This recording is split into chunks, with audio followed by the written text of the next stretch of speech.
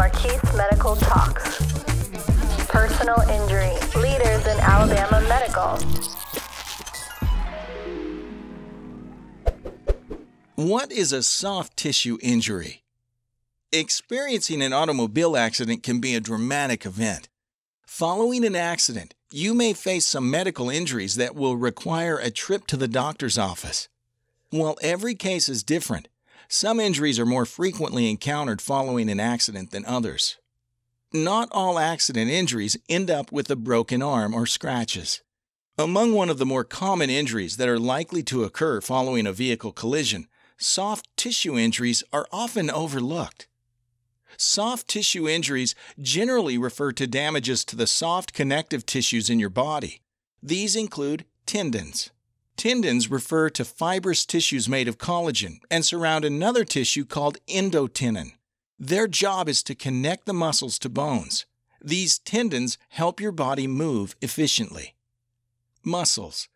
Muscles are a soft tissue made up of cells containing protein filaments. These substances allow contractions and relaxation. These are an essential component of the body as they dictate both voluntary movements, such as riding a bike, and involuntary movements, such as heart and digestive processes. Ligaments. Like tendons, ligaments are fibrous tissues of collagen. Ligaments differ from tendons as they are more elastic and serve a slightly different purpose. Ligaments are responsible for connecting bones to other bones at joints. They are also important for movement. Types of soft tissue injury. While there are several different types of soft tissue injury, sprains and strains are some of the most common injuries in all accidents. Sprains. A sprain occurs when you bend your joints too far and the ligaments get damaged. These accidents can result in excessive stretching or the complete tearing of ligaments. Many people have encountered this injury when they walked along an uneven sidewalk or stepped on their foot wrong and injured their ankle. Strains. Strains are very similar to sprains. They happen when your body bends in a certain way that causes the tendons to get stretched out or break. Both sprains and strains have similar symptoms. These can include local pain, inflammation, swelling, and weakness in the affected region. Other symptoms related to injuries incurred at the time you received your sprain or strain may occur. What is the difference between neck strains and neck sprains? Neck strains and sprains refer to similar phenomena, more commonly known as whiplash. These injuries are incredibly common in automobile accidents and other events that involve a traumatic impact. Your neck and head are delicate. When a car stops short and forces your neck to jerk back, the sudden movement can result in injury. While neck sprains refer to ligament damage and neck strains refer to tendon damage, the two terms are often interchangeably used. Due to the similarity of symptoms and treatment, differentiation is usually not necessary. Some of the telltale signs of whiplash include, but are not limited to, pain in the neck or lower head, neck stiffness, inflammation and swelling.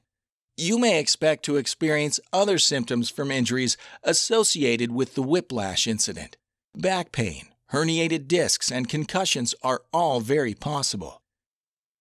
What should I do after an accident? After an accident of any kind, you must visit a doctor immediately to assess your condition. Some injuries are not as apparent as others, but this doesn't mean you shouldn't treat them. Don't be surprised if you don't experience any symptoms for a couple of days, as some injuries do not fully manifest until after the incident.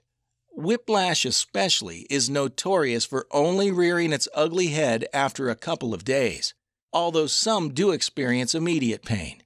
Going to the doctor is crucial for preserving your health following an accident.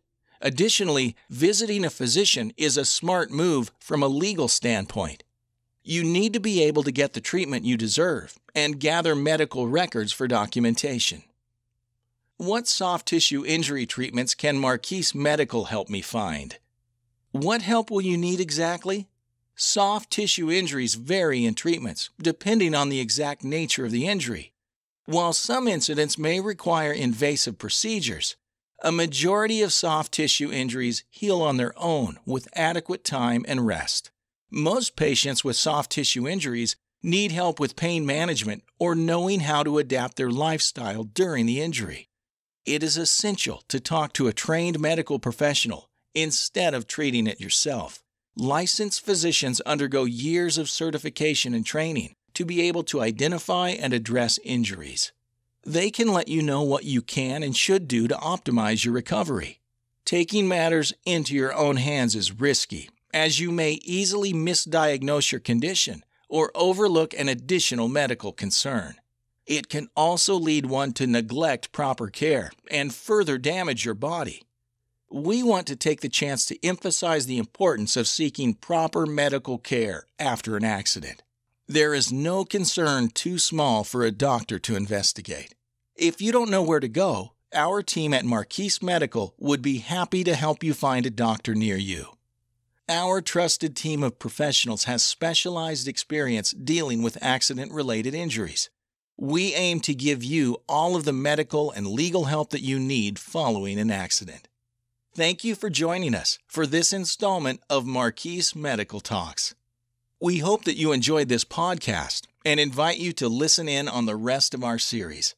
We hope our podcast series helps us connect with our audience at home during these trying times. Our informative talks aim to give you insider information about the medical and legal world of personal injuries. Stay tuned for the next episode of Marquis Medical Talks. We are now streaming on all major listening platforms. To listen, visit MarquisMedicalCenter.com for more information.